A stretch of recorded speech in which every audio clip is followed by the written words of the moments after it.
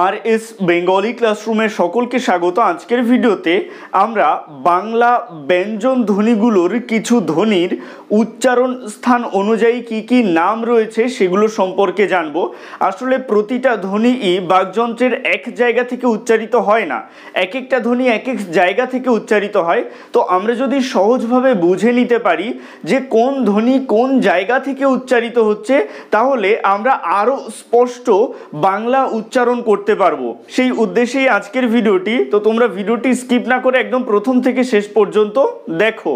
প্রথমে আমি বর্গ অনুযায়ী এই বর্ণের দলগুলোকে তোমাদেরকে বুঝিয়ে দিচ্ছি যে কোন বর্ণগুলো কোন বর্গের অন্তর্গত, তারপরে কোন বর্গের বর্ণ কোথা থেকে উচ্চারিত হচ্ছে এবং সেই অনুযায়ী সেই ধ্বনিগুলোর নাম কি হবে সেটা বুঝিয়ে দিচ্ছি। ক, খ, গ, ঘ উ এগুলো ক বর্গের অন্তর্গত? চ, ছ, জ, ঝ ইয় এগুলো চ বর্গের অন্তর্গত। ট, ঠ, ড, ঢ, মূর্ধন্য, ন, এগুলো ট বর্গের অন্তর্গত। ত, থ, দ, ধ, দন্তন্য, এগুলো ত বর্গের অন্তর্গত। প, ফ, ব, ভ, ম, এগুলো প বর্গের অন্তর্গত। এই বর্গগুলোর বিভাগ তোমরা মনে রাখবে, তাহলে বুঝতে সুবিধা হবে। এবারে আসছি ক বর্গের বর্ণগুলোতে। এখানে দেখো, ক, খ, গ, ঘ ও কোথা থেকে উচ্চারিত হচ্ছে?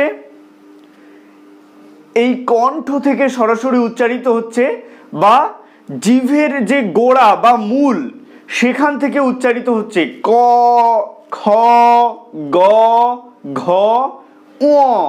যেহেতু কণ্ঠ থেকে সরাসরি উচ্চারিত হচ্ছে বা জিহবা মূল থেকে উচ্চারিত হচ্ছে, তাই ক বর্গের এই ক, খ, গ, ঘ উ এই ধ্বনিগুলোকে বলা হয় কণ্ঠধ্বনি বা জিহবামূলীয় ধ্বনি। কোনো বইতে বর্ণও থাকতে পারে, অর্থাৎ কণ্ঠবর্ণ বা জিহবামূলীয় বর্ণও থাকতে পারে। আমি এর আগের একটা ভিডিওতে বুঝিয়েছিলাম, যখন লিখিত আকারে থাকবে সেগুলো বর্ণ, আর যখন আমরা সেগুলো উচ্চারণ করব, সেগুলো শোনা যাবে, সেগুলো ধ্বনি। তাই ধ্বনি আর বর্ণ নিয়ে বেশি চিন্তিত হবে না। তাহলে কি বোঝা গেল, ক বর্গের এই ক, খ, গ, ঘ উ এগুলো যেহেতু সরাসরি কণ্ঠ থেকে বা জিহবা মূল থেকে উচ্চারিত হচ্ছে, তাই এই ধ্বনিগুলোকে বলা হয় কণ্ঠধ্বনি বা জিহবামূলীয় ধ্বনি।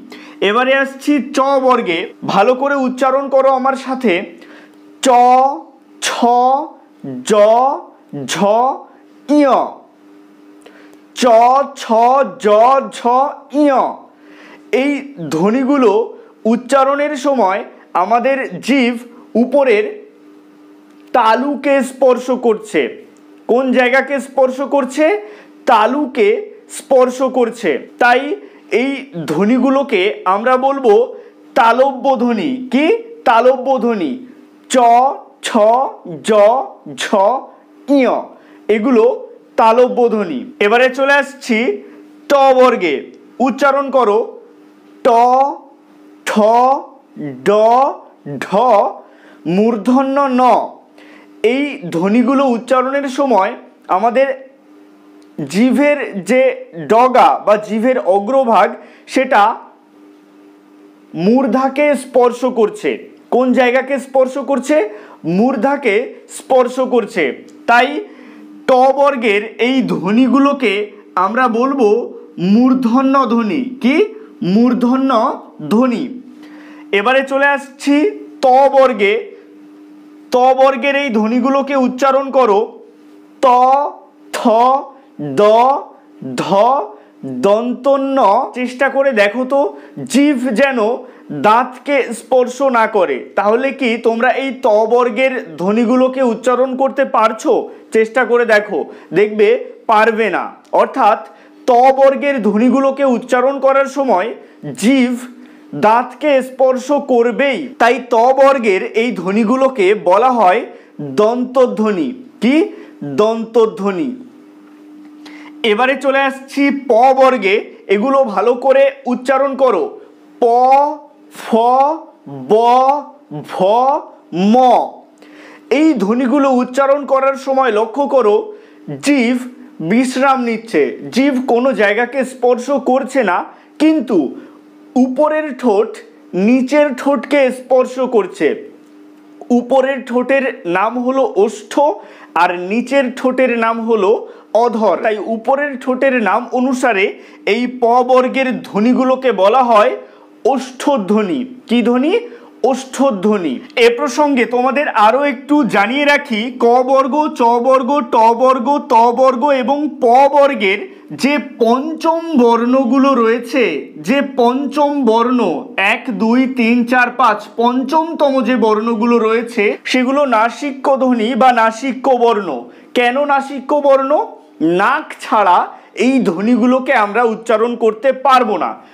উ ইয় মূর্ধন্য ন দন্তন্য ম এগুলোকে নাক ছাড়া উচ্চারণ করে দেখো তো, সঠিকভাবে উচ্চারণ করতে পারছ কি না যেমন ধরো, ম দিয়ে একটা শব্দ বলো, মামা।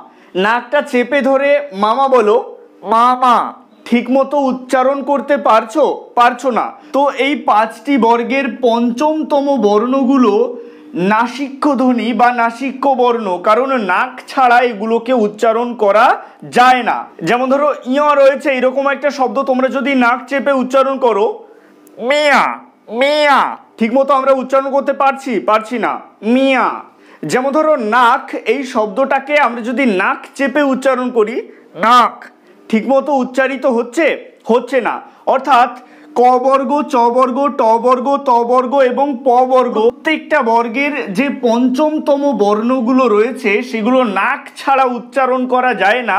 তাই এই বর্ণগুলোকে বলা হয় নাসিক্য বর্ণ বা নাসিক্য ধ্বনি আশা করি এই পাঁচটি বর্গের যে বর্ণগুলো রয়েছে, সেই বর্ণের উচ্চারণ স্থান অনুযায়ী আলাদা আলাদা নামগুলো তোমাদেরকে সহজভাবে বোঝাতে পেরেছি। তাই এবার থেকে এই উচ্চারণ স্থান অনুযায়ী ধ্বনিগুলোকে সঠিকভাবে, স্পষ্টভাবে উচ্চারণ করার চেষ্টা করবে। আজকের ভিডিওটি এই পর্যন্তই। ভিডিওটি কেমন লাগল অবশ্যই কমেন্টের মাধ্যমে জানিও। ভালো লাগলে লাইক করো এবং পরিচিতদের মধ্যে ভিডিওটি শেয়ার করতে ভুলো না।